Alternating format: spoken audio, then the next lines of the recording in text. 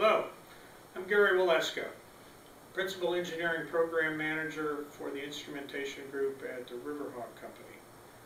We were invited to make a product presentation at the latest Turbo Machinery Symposium regarding uh, torsional vibration monitoring at a discussion group provided at the show. Riverhawk's solution for dynamic torque metering is an upgrade to our RDT 2100 system. For systems that have been produced since 2002, they can easily be upgraded merely by changing the monitor that resides in the instrumentation area with no changes required to the machinery that's out in the field. The updates uh, provide additional signal outputs and additional capabilities that are necessary for monitoring in different kinds of application environments. One of the main environments is what's called low cycle fatigue. This is where, uh, primarily in motor startup conditions, where you experience high torque values on startup. They happen infrequently, again, usually on startup. So that's why it's referred to as low cycle fatigue. These torque values can be as much as 8 to 10 times the normal running torque. So it's important that these get monitored because they really affect the life of the coupling. For these kinds of applications, we can provide instantaneous torque output. That can be recorded on a recorder or fed into your DCS system. And we can also capture the peak torque values. So you have those until they are reset by an operator or some external input. Another application is high cycle fatigue. This is really something that's more often called torsional vibration. This is where you may have fluctuations in torque values on an ongoing basis due to some characteristics uh, of the system. For this kind of application, we provide instantaneous outputs. We can also capture the peak-to-peak -peak value, just the, uh, the alternating torque value, and we can also capture the peaks and the, the magnitude of that alternating value. Our system can also be used for validation of products if necessary, and it can be used for other kinds of diagnostics where you can take the data that's collected and run it through an FFT analysis, uh, waterfall or Campbell diagram to get the kind of data you need for your evaluation. Our system uses uh, strain gauge technology. There have been some concerns in the marketplace about the reliability of strain gauge technology and uh, really those concerns um, just make no sense. This is a proven technology. We have over 40 years of experience with strain gauge based torque metering systems. And to the best of my knowledge and my 15 years experience here, we have never had a failure of a strain gauge in a torque metering system.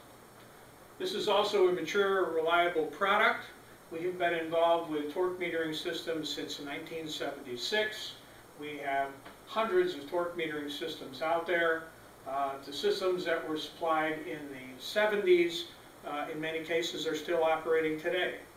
And as far as calibration uh, maintenance goes, we have one customer that returns their system about every four years for recalibration. And what we find is that over these many years, the calibration has usually been within 2%. So uh, the longevity of these systems and the repeatability of these systems is excellent. Any of the systems that were produced since 2002 can easily be upgraded in the field. The instrumented coupling, which sits right out on the machinery, does not need to be changed. The excitation and signal conditioning module here, uh, which is also on the machine, does not need to be changed. The only thing that needs to be changed is the monitor, which exists back in the control room area. That, get, that gets replaced with an enhanced unit. There are no connectivity changes. Uh, new signals are available and it can be installed without a shutdown. So how does our system work? Well, basically the strain gauge is measuring the torque that's applied to the coupling. That signal is amplified and converted to a variable frequency signal so that we can transmit that out through the rotor and stator. The ESC, which resides on the machinery, takes that signal and conditions it for long-distance transmission to the monitor or the display unit, and the display unit converts that variable frequency signal back to torque values. And again, the desired outputs that are available on the enhanced system are instantaneous torque, peak torques, and peak-to-peak torques.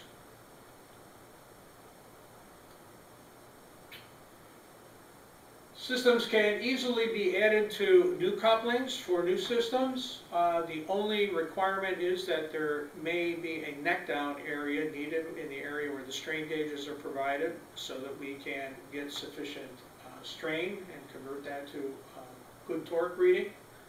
And the advantages of the Riverhawk uh, torque metering system are that it has less impact on the coupling design. Usually there's no impact on the coupling design.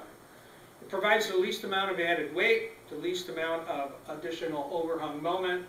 There basically is no cost adder to the coupling from standard coupling. It provides really the lowest price overall uh, torque metering system compared to the competition. And again, this is a mature product that has been in the field for many years.